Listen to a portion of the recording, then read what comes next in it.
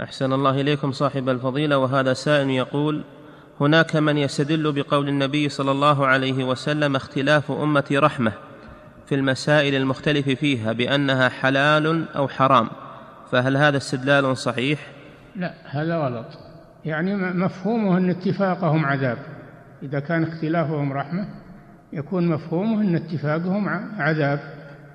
وهذا لا هذا لم يقل به العكس اتفاقهم رحمة. واختلافهم عذاب. هذا هو الصحيح بل هو الصواب. قال الله تعالى ولا يزالون مختلفين إلا من رحم ربك. فاستثنى من المختلفين من رحمهم الله فلم يختلفوا. وحديث انه اختلاف أمتي رحمة هذا لم يثبت عن النبي صلى الله عليه وسلم. نعم.